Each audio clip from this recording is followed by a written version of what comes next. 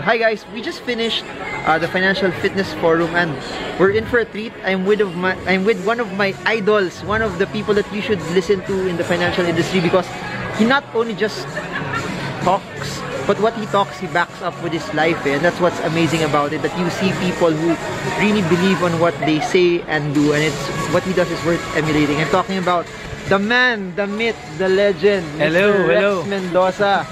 Hello, yeah. So, of course, people know who you are, but they there, there's probably snippets of your life that uh, people can learn that they can be inspired about it. So, first question: uh, When did you make your first million?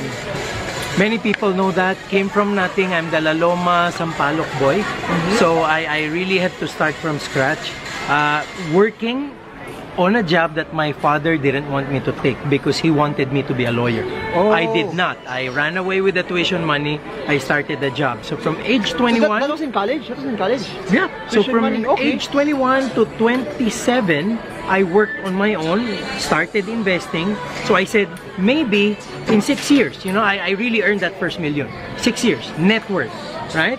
But the strategy that I had was to earn the next one in half the time. And the next one in, again, half the time. So it's all an accumulation process that that was unstoppable. That's that's interesting. I didn't know that. So you did did you graduate from college or no no no? No, I did, but it was a pre-law course which I, you know, took up business. I said I'm gonna be corporate law because my father wanted me to be a lawyer. Eventually, passing the UP law exam, about to enroll, I got the tuition money and ran away. Mm. And got home after two months with a job. So I graduated, but I did not become the professional that my father wanted Did, me to did be. he get mad after? Of course, he wasn't talking to me. for, for, okay. I was his last chance. I was the youngest in the family. I was his last chance to have a lawyer, and he didn't get it. So Mm-hmm, uh, I ended up to be, in his words, the only non-professional in my family. But poetic justice, huh? They lived their twilight years in my place with my Mm. wife. So I took care of them when they were old. Wow, very nice. So you said that it was half the time, no, from 1 million to the next level, then then the next. Pero did that happen because you were climbing the corporate ladder very fast, or was that more entrepreneurship? that's that's really more of passive income Oh. because you know even if I was like a fast rising star in corporate I mean how much Until do they now. give you how much do they give you whenever you get promoted Okay. not really that much but it's the money that you set aside and invest right um, stock market I was I was in the stock market very early Oh. and and that's where it became exponential because the more I transferred money from passive income what I earn you know transferring it from active income to passive income that's when it really really rose very fast Wa- Was that uh, when you were single, you were allotting a portion of your income to it, Uh, or you're putting everything? You're putting everything. almost everything because even if my dad hated me eventually I came back home and lived with him Okay. uh, so Best- best way to save money. exactly Okay. so almost like you know and, and I felt I can take a risk why if I failed he will still feed me.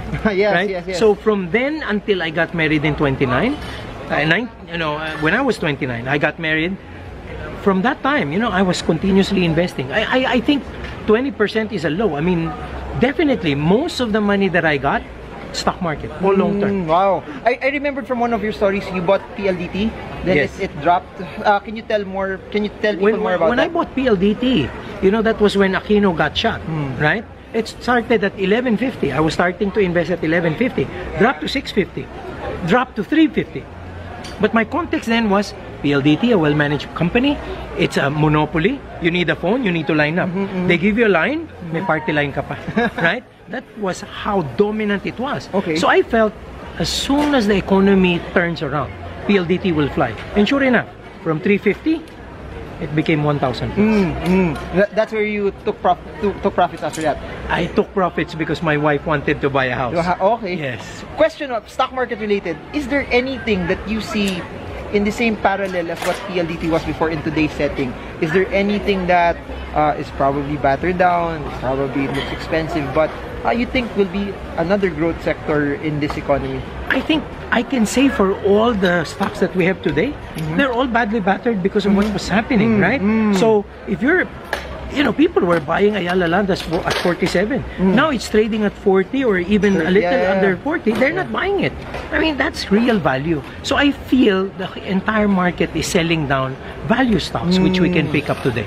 Um, I, I don't care if it goes a little further. I'm not like you. I'm a, I'm not a trading, you know, personality. But hey, I have the cash flow. So if it goes down, I'll buy more. If it goes down, I, I'll buy even more. I have the liquidity because when I was going up, when it was going up, I think we all do that. I top sliced. I Okay. top sliced. So I have the liquidity. So I'm not worried about it. Nice. Um, here, here's something interesting. Uh, the BSP. This is, I don't know if you're okay. No, this is a bit technical. This is a bit technical.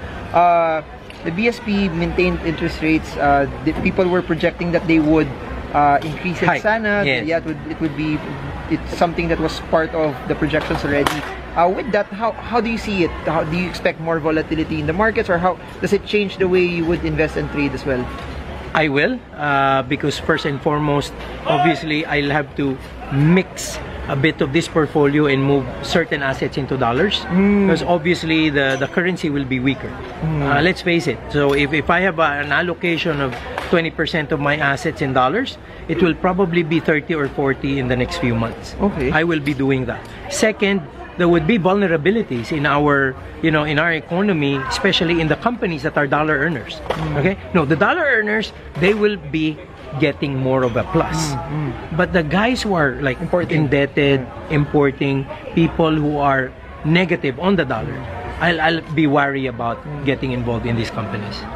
Uh, do you think this will because what the BSP did also no they uh, they increased uh, the reserve rate uh, they decreased the reserve rate meaning more uh, More liquidity. will, flow into Yeah. the system are you scared about how that impacts inflation as well Um, And- and, that's why and- inflation is that's why inflation is almost like run away. I mean, in, in the last two months. But you see, I, I, I while I don't agree, the BSP is making a bet that the economic growth will push the nominal side so much so that even if it's inflationary, there will still be real growth. okay And because of the build, build, build program, they're just gonna take the liquidity and pour it into the countryside. So hmm. eh, there, there is logic to it. I'm not saying they're sleeping on the hmm. job, but maybe they don't have the same thinking as we do. Maybe they have different priorities. That's the, that's the way I see it. But instead of contradicting what they're saying, hmm. I'm going to be looking at the opportunities. Like some companies are going to be blessed, but some companies are going to be challenged. I will move money to the companies that will be blessed. you think consumption stocks will because of uh, what they did with the tax reform law they had an ex more people have more disposable income now that it will somehow compensate that rising inflation but more disposable income uh, it won't affect the jollibees it won't affect the Shakey's it won't affect the Puregold still On the contrary, they're gonna be moving up because of the consumption. See, the problem we have in this country is that there's more disposable income being thrown out because of trade. yeah, yeah. Technically, what these guys should be doing is saving that money. Right? They should be saving that money so that they're not gonna be paying taxes because taxes have shifted from income to consumption. Yeah, The yeah. problem is if they're gonna consume, they will be paying eventually more taxes. Mm. So I'd like people to start thinking about what they got, that 7% of income, to invest that and invest that on a continuous basis as if they did not get the tax break. Because if they spend that, they will be spending more on taxes moving forward. I guess people say, okay, this is for the poor. Yes, I will agree if the poor doesn't spend it the rich does not spend enough money as a percentage of their total income like the poor does. And that's the reason why this is a plus for many of them, right? So, me, I'm going to be looking at it that way. I mean, and that's the reason why we have a tough job to do. We have to educate more people. We have to shift them to savings and investments and not consumption. you you advocate a lot about uh, investing in funds, especially for people who uh, I don't know they don't have the time or the know-how to go into it. Uh, what's your I guess biggest stake or encouragement for those that are, are still scared in spite of the great economic conditions? Uh, they have more disposable income right now. Uh, what's something that you can you can say to jo- actually jolt them? You know, there is no excuse anymore. Today, a mutual fund investment can go for as low as 1,000 pesos. And I'm not kidding. 1,000, even 500. So there is no excuse. Even a security guard can open an account like that. The important thing is to start setting money aside continuously. Allowing yourself to trust a fund manager who knows the markets better. See, if they know the markets better, your job is just to contribute continuously to build your kitty. The thing about mutual fund investing is that it's long term, and if you're doing this on a consistent basis, the ups and downs shouldn't be relevant to you. So look at your dreams, look at the goals that you've set for yourself, and forge the discipline. Because as I've said, in today's financial markets, capital market development has gone to the point where even the small guys can now participate. Again, 1,000 to start an account, 1,000 to add on a monthly basis, I don't think that's much. So anyone can do it and anyone must, anyone must do it. Now, majority of the whoa, majority of the people who watch these videos are normally the 25 to 45 year old age group. Uh, what do you suggest? Equity, balance, bond? Uh, they just track the PSEI as a whole.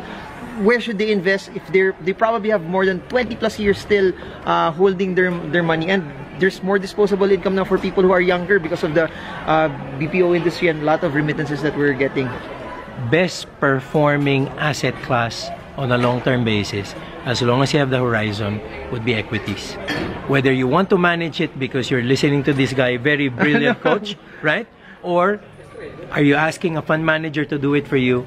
Putting your money in equities will be the blessing that you're going to look at if you have that long runway. That will always work. All right, last two questions before we put this to a close. Your takes on cryptocurrencies, uh, Bitcoin, Ethereum, and not not the not the smaller coins, but just the main the main ones.